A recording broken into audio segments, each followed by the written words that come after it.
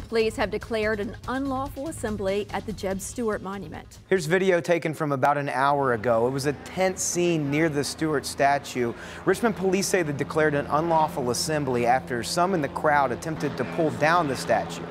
We spoke with a witness who says they saw several people with a rope around the neck of the statue itself.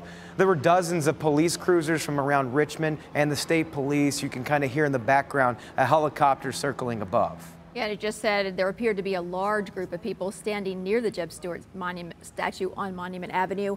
On scene, we heard a loud bang, but could not hear the direction where it was coming from. Now, this is a developing situation, and things can change quickly, as we've seen in the past. If they do, we'll be sure to let you know right here.